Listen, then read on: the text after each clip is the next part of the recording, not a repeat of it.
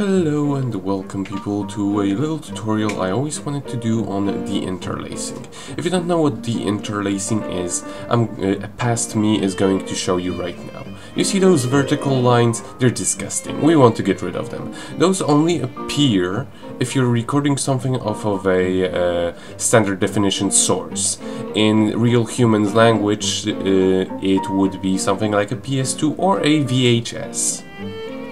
Now, they don't appear always, but uh, they appear mostly in uh, areas with a lot of movement, as you can see here. Now, uh, there are multiple ways of getting rid, uh, rid of them that aren't actually listed as the interlacing, and I want to show those. Well, first and foremost, we need to change our proper, uh, properties to uh, progressive scan and 30 frames a second and the interlacing methods to none to show my point. As you can see, the, the, uh, the interlaces have disappeared.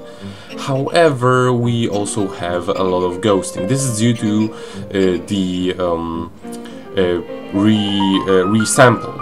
Uh, by, default, uh, the resampling is set to smart resampling. This will not take any effect unless you have recorded the video in a frame rate higher than 30. So yeah, that's one method. Record it in a frame rate of 60 or 120 as I did, and then your deinterlaces will disappear when you uh, choose the um, resampling. However, it's not very good as you can see there is a lot of ghosting. So we will go through the uh, basic methods. Now, blend fields will give you a similar result, however I would say it's worse as uh, it dilapidates the color quality and makes everything look a little bit uh, fuzzy. As well as, uh, well, looks fuzzy and I don't like it. So we're gonna check the other deinterlacing method, which is interpolate fields. Now this method at first glance looks awesome. However, if you look closely, especially on the pre-rendered elements of the environment, uh, you'll see that uh, it's um, uh, you'll see that it essentially uh, lowers the resolution. You can see that especially on the uh, on the lines that don't that go a little slightly crooked. So we want to get rid of it because it's it's it ain't very nice. Yeah, you you, you um, past me is showing you wh where to look at. Stupid moron. in any case, uh, you uh, yeah you uh, there is another method that's uh, I would say best of them all that's that. I don't know how to pronounce it but I will put a link into the description. It's it's a free plugin you can use in Sony Vegas 10, 10 and 12 you just uh, you just use it with uh, media or uh, video effects, and it will essentially keep the resolution as it's supposed to be and not cause any sort of ghosting which is optimal. There is uh, one uh, downside to it, however.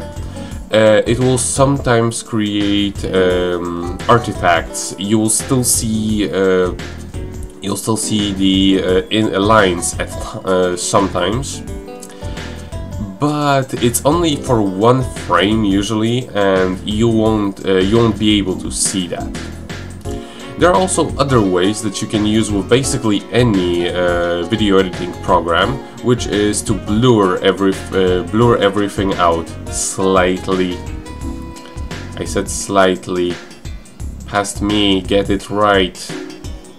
In any case, you literally set, uh, set your uh, blurring settings to uh, around 2% uh, and uh, it will uh, give you basically the same effect as blend fields. The frame rate is still gonna be kind of ghosty, but if you don't have the actual actual blend fields, this is a, neat alternative. Um, there are, uh, you can also use uh, something called Pixelate, but it doesn't work very well. Now, um, there is also another method that you can use even without a video editing uh, program, uh, which is to uh, lower um, the resolution to 240p. I said 240p. I said 240p. Not 360. God damn it.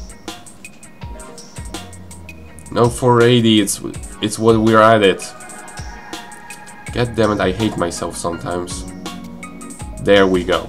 It's basically the same as blend field, so uh, if you don't have a video editing program, uh, just some, some sort of converter, you can still do this.